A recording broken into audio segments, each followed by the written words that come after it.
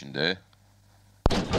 Start verildi ve koşu başladı değerli izleyenler.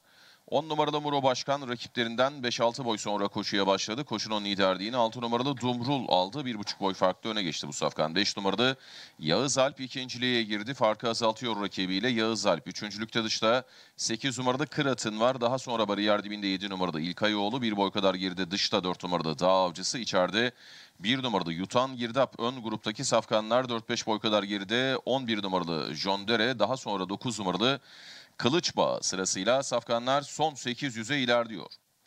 6 numaralı Dumrulu dışı- dışından yüklenip gelen 5 numarada Yağız Alp yakaladı. Bu iki safkan ön plandalar. 4-5 boy kadar geride. Üçüncülükte içeride 7 numarada İlkayoğlu var. Daha sonra dördüncülükte 8 numarada Kırat'ın sırasıyla safkanlar son 600'e girdiler.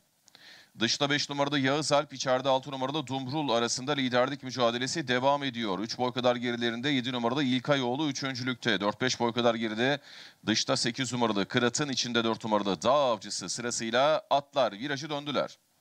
Son 400'e girilir girilmez. Dıştan yaptığı ataklarla 7 numarada İlkayoğlu, içerideki 4 numarada Yağız Alp'i yakalayıp öne geçti. Son 200'e yaklaşılırken 7 numarada İlkayoğlu 2 boy farklı önde. İçerideki 5 numarada Yağız Alp ikincilikte rakibine yaklaşmaya çalışıyor. Yağız Alp son 150 metreye girildi artık.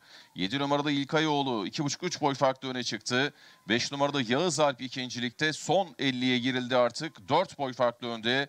7 numarada İlkayoğlu Alişan Bahar'la kaz- kazanıyor. 5 numarada Yağız Alp ikinci, 11 numarada John Dere üçüncü, 9 numarada Kılıçbağı dördüncü, yarışın beşincisi de 3 numarada Ulugöl oldu. 7 numaralı İlkayoğlu Alişan Bahar'la kazandı.